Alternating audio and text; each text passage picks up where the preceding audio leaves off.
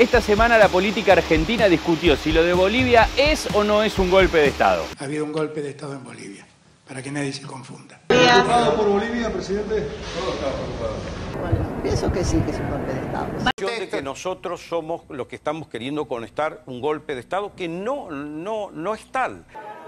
Podría es un hecho desgraciado en la historia de la diplomacia argentina. Eh, no ha habido nadie que asuma el poder dentro de Bolivia en este momento. Asumo de inmediato la presidencia del Estado prevista en el orden constitucio- constitucional. Está mm, las Fuerzas Armadas que, no sé si la palabra es, recomendaron de manera enfática que eh, terminara el gobierno el presidente Evo Morales. Anda, vete de la ciudad. Ah, como amigos. No. No seas malo.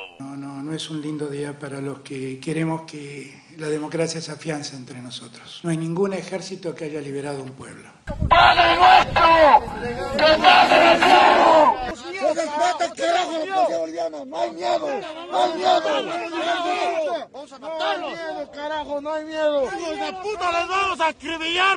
Y entendemos que las elecciones son la mejor manera de transparentar la voluntad del pueblo boliviano. Bolivia está normal, Bolivia tiene una presidenta, ha vuelto la paz a Bolivia. Muy normal no está Bolivia Camacho cuando vemos lo que está sucediendo en las calles.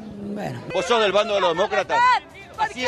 ¿Vos la verdad. libertad de prensa? Di la verdad. ¿Esto es libertad de prensa para vos? Di la verdad. Venir a apretar a los periodistas Di la de verdad. Sos una basura, Di la nena. verdad. Una basura. Apretás a los periodistas. Y aquellos periodistas o pseudo periodistas que estén haciendo sedición, se va a actuar conforme a la ley. ¿Qué periodistas están con usted allí en la, en la residencia o en Bueno, la embajada? Iván, no sé, no sé cuáles son, porque eh, yo estoy, yo lo único que veo de Argentina es, es, este, ¿cómo se llama? Eh, fútbol, a- lo veo a Boca y a Bendita, Te- y a Bendita TV, nada más. Beto Casela. Beto Casela. El debate se coronó con una sesión en el Congreso, a donde se votó un repudio. Si se lee el texto de la renuncia se verá que es el mismo que hubiera escrito con un revólver en la cabeza. Se tentó después. Se tentó por gula de poder. Lo mejor es someterse al pueblo, el pueblo diga. Si el pueblo dice no, ¿qué, qué podemos hacer? ¿No vamos, a, ¿No vamos a hacer un golpe de Estado? Y algunos compañeros me decían hay que consultar al pueblo, a los obispos. O sea, aquí no hay nada que consultar. No me quiero ir. Y eso no justifica lo que pasó. En paralelo se descongeló el precio de la nafta y se vinieron los aumentos. Ya están remarcando los precios las petroleras que dicen que todavía falta un 15% más antes de fin de año. Otto, ve a conseguir gasolina. Aquí está la tarjeta de crédito.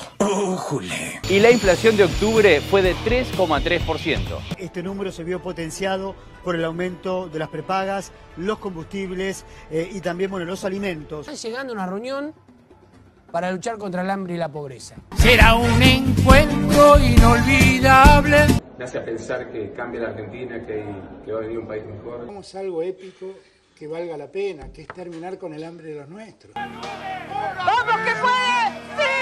Además, una comisión bicameral puso límite a las prisiones preventivas. Hay un reacomodamiento de la justicia en esta transición. Las prisiones preventivas han sido absolutamente abusivas. Ninguno de los que está preso te- debería estar preso. ¿Se terminan las prisiones preventivas? Principales temas de la semana para estar bien informados.